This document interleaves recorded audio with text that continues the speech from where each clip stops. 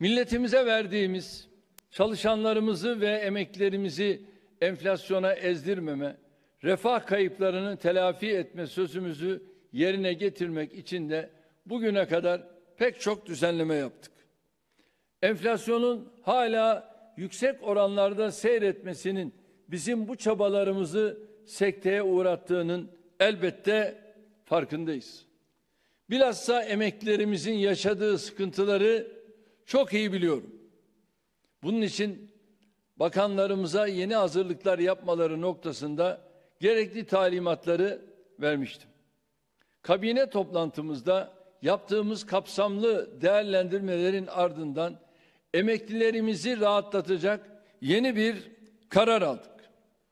Emeklilerimize bir defaya mahsus olmak üzere 5000 Türk lirası ödeme yapmayı kararlaştırdık.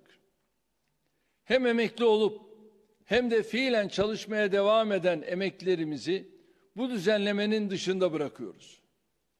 Bütçemize toplam maliyeti 61 milyar liraya geçen bu ödemeler Kasım ayının ilk yazısı itibariyle emeklilerimizin hesabına yatırılmış olacaktır. Yıl başında emeklilerimizin durumunu tekrar gözden geçirecek. İnşallah o zaman da her türlü fedakarlığı sergileyeceğiz. Filistin halkını sürekli taciz ederek, can ve mal güvenliğini hiçe sayarak, evlerine ve arazilerine el koyarak, altyapısını tahrip ederek, kalkınmasına engel olarak bölgedeki sorunun çözülemeyeceği açıktır. Böyle bir yaklaşım sadece derinleşen huzursuzluğun yol açtığı çatışmaların artmasına, her iki tarafın da sürekli kanının dökülmesine, nihayetinde de barış arayışlarının hep hüsranla sonuçlanmasına yol açar.